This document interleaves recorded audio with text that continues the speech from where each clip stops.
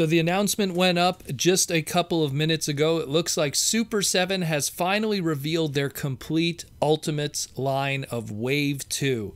The Transformers Ultimate line was something that Super 7 started at beginning of the year. It looks pretty hype. There's a heavy lean on Action Masters and that kind of lore, but also putting in a whole bunch of accessories to celebrate all the different iterations of Transformers history and it's a lot of deep cuts. And that's what this segment's really going to be about today is going through wave 2 of the Transformers Ultimate line from Super 7 and all the deep cuts that these four figures that were revealed to us are going to have. Now we knew these were coming because they gave us the listing of all the figures for wave 2 and wave 3, but we didn't know the stuff that was going to come with it. Most we knew was Grimlock was going to get a fish. That's all we knew. I'll go into that in a moment. So we have here the full information, all the images, the pre-orders, the prices, everything that's going on. I'll get into that at the end of it. So let's get into first Generation 1 Megatron, or as they call it, Transformers Ultimates Wave 2 Megatron G1 cartoon. So, of course, it's G1 Megatron, not much to be known of the actual design itself, super articulated 7 inch Megatron figure. But let's talk about the accessories that it comes with. So, it comes with a regular head, it comes with a power hungry head, and it's a Megatron head with some energon dripping from two sides of his lips.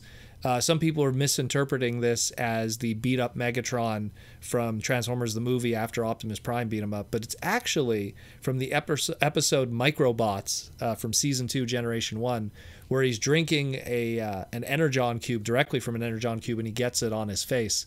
Uh, that's actually an extra accessory that's included here. We'll get into that in a moment. And the last head here is the head with the mind control helmet. And this one comes from the episode of Prime Problem, again, also season two. It was the mind control head he was using to control his clone of Optimus Prime in the episode of the Prime Problem. He also comes with six six uh, interchangeable hands.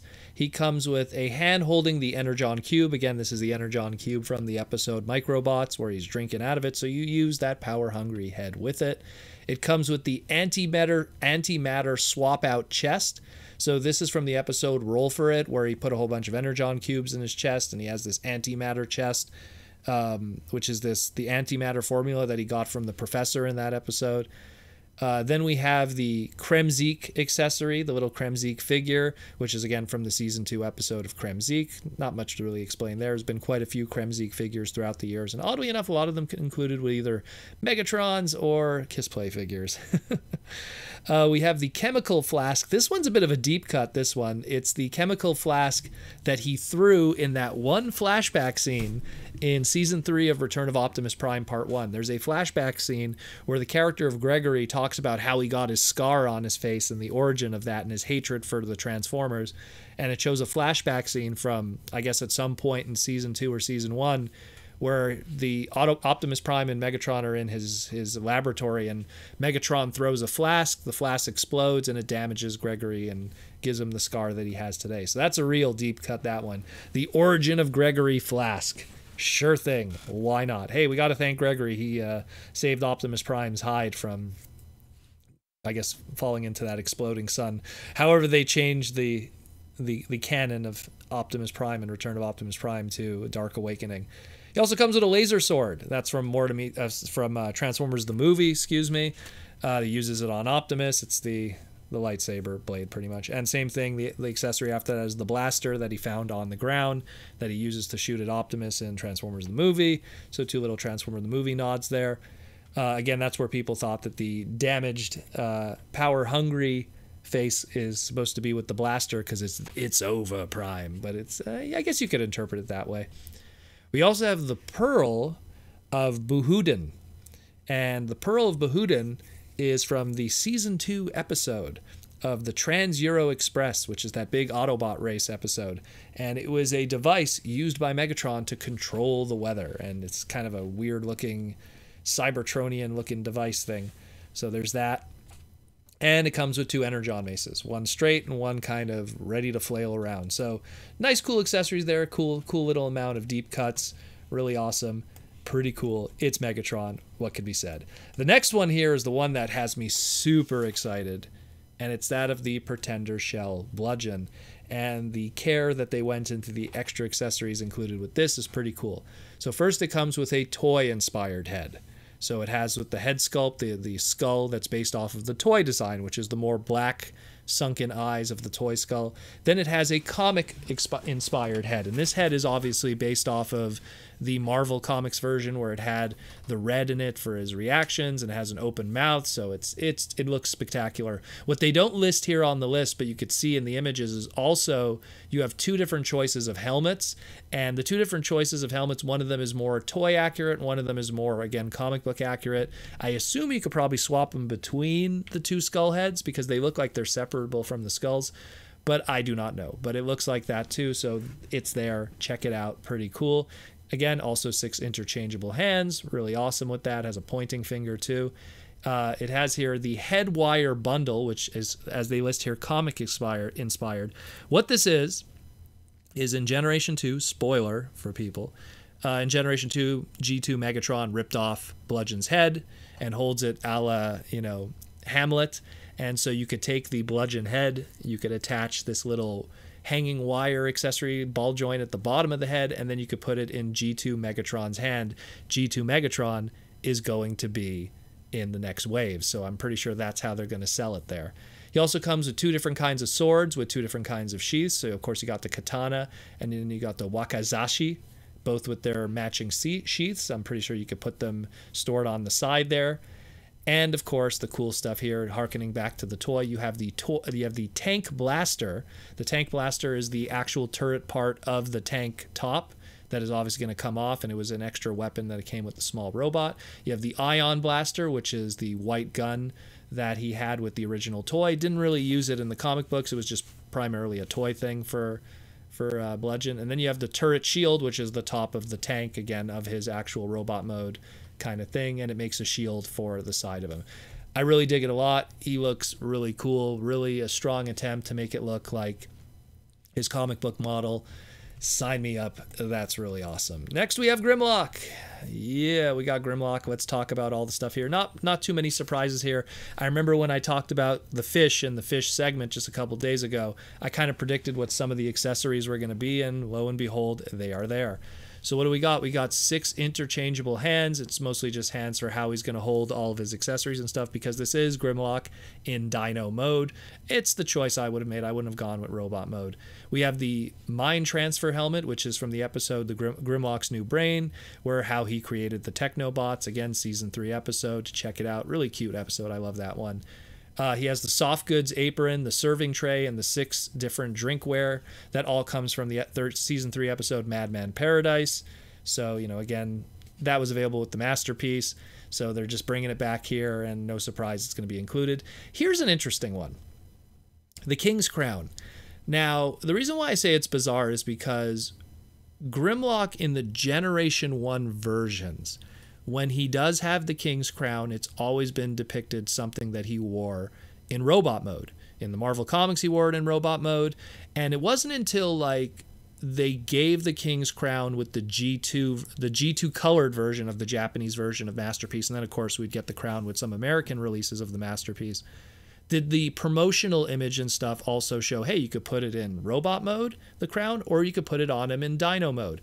And that was really the first time we saw the crown put on the Dino mode of Grimlock. Now, of course, people could argue, well, if you watch the Cyberverse show, uh, you know, Grimlock wears the crown in both modes too. He wears in the Dino mode, but that's the Cyberverse show. So I'm really talking specifically um, to the G1 version here. And of course, even like the Grimlock Cyberverse Deluxe toy has the crown accessory for the alt mode too, for the Dino mode. So just I just wanted to just point that out. Very bizarre that they they included that, but I guess they really were kind of short on accessories, and they figured ah just include the crown. Maybe maybe they'll make a Grimlock robot mode one day, and the only way you could get the crown is through this version. Who knows? they'll they'll pull something like that. And last but not least, you have, of course, a wheelie figure riding on his back. I'm surprised the wheelie figure doesn't have a a little slingshot, but I guess they just wanted to keep it simple. You know, wheelie fine friend today. So, and again, from that, that's from Transformers the movie, if you haven't realized. And last but not least, we have Generation 1 tracks. Again, this goes with the Action Master idea, which I really dig. Uh, because there's two Action Master deep cuts there. First, we'll go into the interchangeable heads. We have the regular Generation 1 head and the evil alien robot head from Hoist Goes to Hollywood. Uh, that's a season 2 episode. Again, he had the little alien head for when the Autobots had to be in. I think it was the episode, I think the, the movie they were recording was uh, Attack from the Aliens of Outer Space or something like that. So they wore those, those masks to look like aliens, even though they're technically aliens themselves. Again, six interchangeable hands, no surprises there. You get a tank vintage inspired toy. What that is is it's his actually a his Action Master partner from his Action Master version called Basher.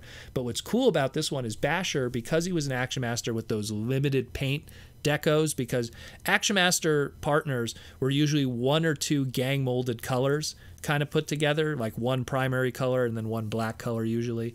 And uh, in the case of Basher, his Action Master partner, he had like a green and kind of stuff. It just didn't look nice. So this one, they did a more uh, tracks colored Action Master Basher partner. And uh, looks really good. I dig it. I, I, like that they included that as a little extra, you know, kind of harkens back to his Action Master, you know, UK background. And because that, you know, these are non transformable figures, it even gives an extra little bit of Action Master to that. I dig it. I dig it a lot. The Ion Blaster they list here as a vintage inspired toy. Again, this it says vintage inspired toy, but the gun is not based off of his Generation 1 toy gun. It's based off of his Action Master's gun. So not only do you have his Action Master partner, but the gun that's included with Tracks is his Action Master styled gun. Really cool stuff. Dig it. Nice touch. And then the other Ion Blaster is the cartoon inspired one. Again, make tracks, all the episodes where he has his gun. It's based off of that one. It's the tiny gun there. Uh, it's, it's dead on that. And last but not least, you have G1 Blaster in boombox mode for tracks to have with him. That comes from the episode Autobop Season 2. And, you know, those two have a, a, link together from that episode and stuff. So really dig it. Now let's talk about prices. This is all cool stuff. I'm very excited about it. Um, they're $55 each. Uh, you get a lot of cool stuff in them. They're seven inches tall. How it works essentially is the pre orders are going to be available until August 29th. After that, when they're gone, they're gone. You can't pre order them anymore. You're going to have to rely on the secondary market. The expected delivery date is sometime in summer of 2022. So just keep that in mind also. There's a little bit of a wait time. Now, if you are someone from outside the United States, they actually have other international partners for ordering. So I heavily suggest you go to Super 7's website, go to their partner section for their international orders of any of these pre orders, and they'll have partners that can make the shipping and of course the duty a lot more easier on you because I mean if you're buying the full set of these you're talking over $200 if you're buying from an American a company like Super 7 and you're not in the States, you might get hit with duty or the shipping just might be brutal. So they have partner options. Next thing to also mention is if you are interested in getting all of them, uh, again, this is going to be over 200 bucks. They actually also involve payment plans. So you could pay in small payments so you don't feel all the load in one shot for this. So that's also an option that's on top of the partner system and for even American buyers um, just check that out too. They give that option also. So check that out. Really cool stuff. I'm excited about these. They look fantastic. And now, man, now I'm really curious.